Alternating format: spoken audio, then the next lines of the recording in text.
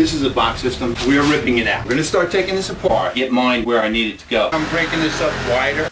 That's what we're breaking out. That's what was put back. Broken out, put back in. This is a box system. This is a footer. This is a six inch ledge and it's about 10 inches deep. A proper trench needs to be as wide as this shovel. This is about nine inches. There's the water down there. That's where a system needs The box system is on top of the footer. This is the PVC pipe that this box system is supposed to drain in. The PVC pipe is up here. There's the water.